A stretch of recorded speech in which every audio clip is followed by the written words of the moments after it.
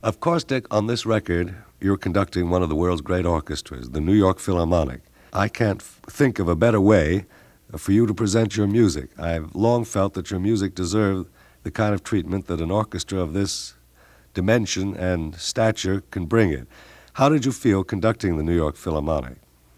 Well, I think out of the, the primary sensation I felt was one of intimidation.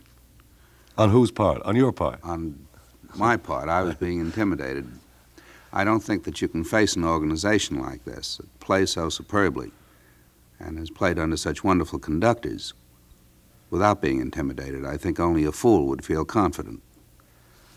But I'm, su- I'm sure they put you at your ease after the first few bars. Well, we got to know each other pretty well. As a matter of fact, I had played with almost all of these men at one time or another, uh, conducting at the stadium and in various uh, various theaters. Some of them, great many of them, had played, and I knew almost all of them.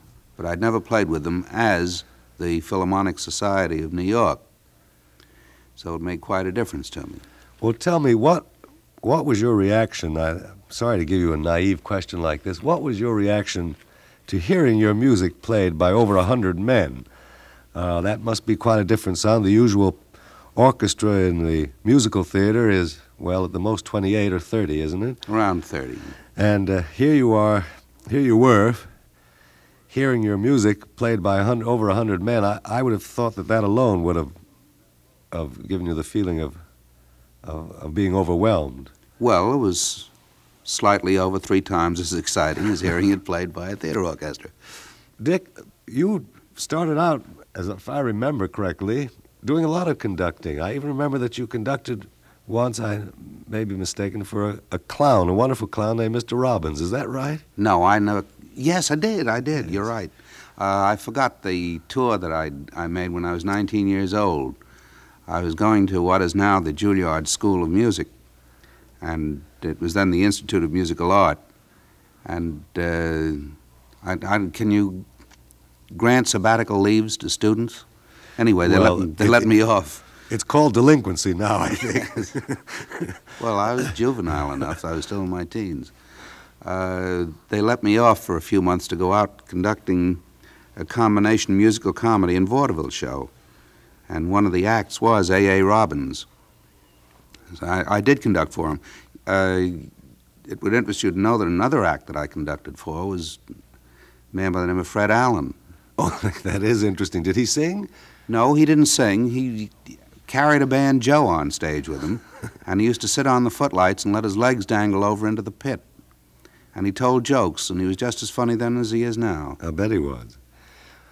Uh, Dick, on this wonderful record that you've made for us with the New York Philharmonic, uh, is a an example of what I would call your exotic music, and you've written a good deal of it in South Pacific, and particularly in The King and I.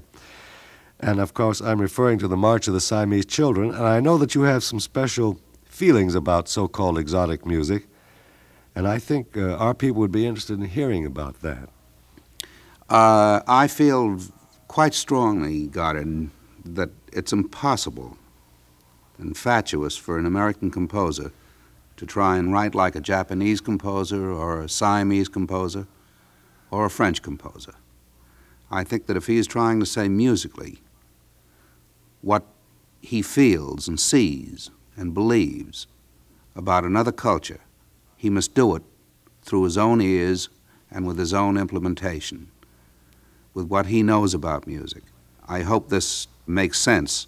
If Grant Wood were to go to Japan and come back with a portfolio of paintings of Japanese life, you'd see Japan all right, but you would also see Grant Wood.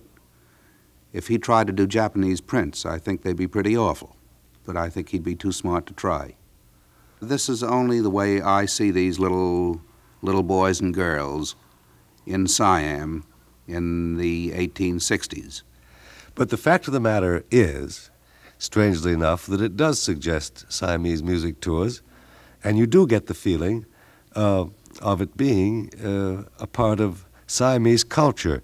I think that's very interesting, and I think, by the way, your theory is completely correct and is proven by the March of the Siamese Children, which you play on this record, which I'd like to hear a part of now.